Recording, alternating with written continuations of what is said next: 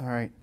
Uh, really nice ride, the 21 inch medium. Uh, for me, this is a really versatile cymbal uh, that you could use for a lot of uh, different things. It is a great jazz cymbal, the nice dark tonality. Um, you know, the bells is, an amazing Latin bell.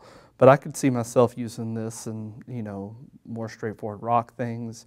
Uh, has really good definition, um, more of a blues sort of ride, just really anything.